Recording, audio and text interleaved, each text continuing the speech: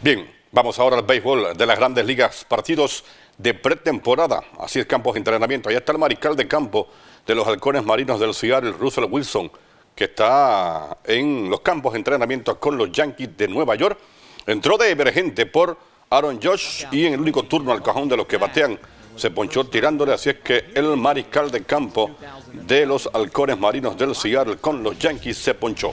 Vamos a otra actividad donde el japonés Shohei Otani demostró que tiene con qué, independientemente de la actuación que tuvo en su primera apertura en campos de entrenamiento, hay buenas noticias para esta organización porque mejoró su actividad.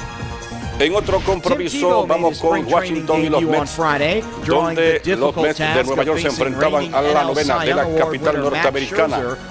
Acá también el equipo de la Gran Manzana se perdió el partido dos carreras por una. Max Scherzer trabajó tres episodios sólidos para llevarse la victoria.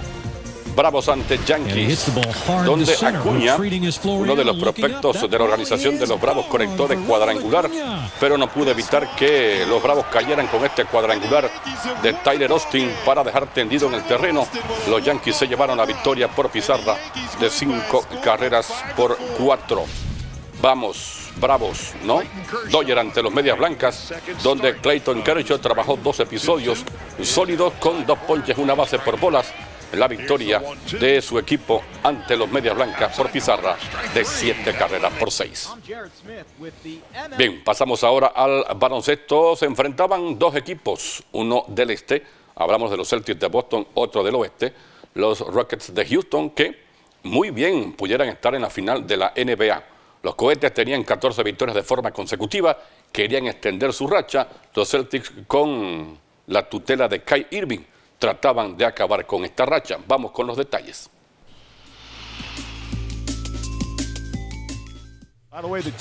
Duelo interconferencia se enfrentaban Houston ante Boston, dos equipos que estarán de seguro en la postemporada.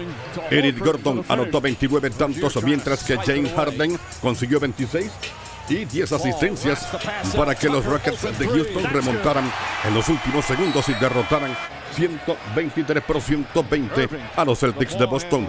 Con la victoria, los Rockets ampliaron su racha ganadora a 15 partidos, su más larga en la temporada. Houston iba abajo por seis tantos antes de desatar una ofensiva en las que superaron 10-2 a sus rivales y Trevor Ariza esto los últimos cinco puntos para que los Rockets se pusieran en ventaja 117 a 115 a falta solamente un minuto y 16 segundos para el final. Jugadas como esta fueron clave, robo de balón, la perdió Kai Irving y Trevor Ariza sin problemas marcaba dos puntos claves en la victoria de los cohetes que siguen con la mejor marca en toda la NBA. Hubo actividad este fin de semana en la meca del boxeo en Nueva York, el Madison Square Garden, donde el ruso Sergei Kovalev defendió su corona semipesados de la Organización Mundial de Boxeo al vencer a su compatriota Igor Mikolkin. Vamos con los detalles.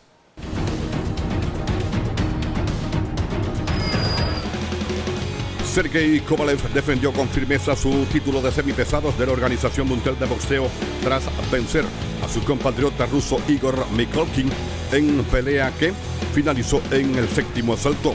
Kovalev ganó su segundo combate seguido tras sus dos derrotas en fila ante Andre Ward y castigó a su antiguo compañero de equipo amateur en la primera defensa de su título que acaba de recuperar en su pelea anterior.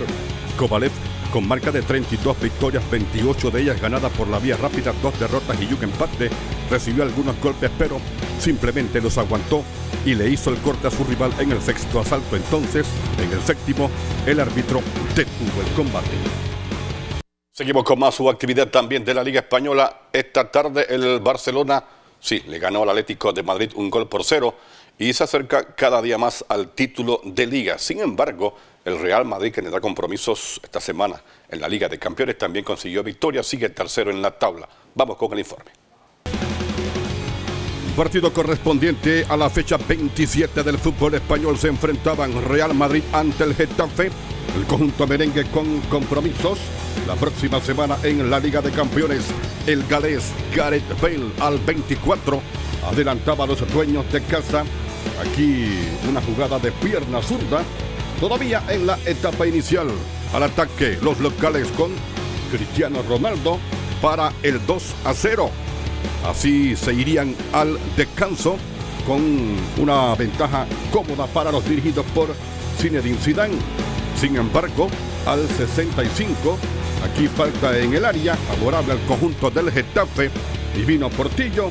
Nada que hacer para el guardameta Keylor Navas. Los visitantes habían descontado, pero al 68 marcaba Cristiano Ronaldo para el 3-1 definitivo el Madrid tiene 54 puntos, es tercero.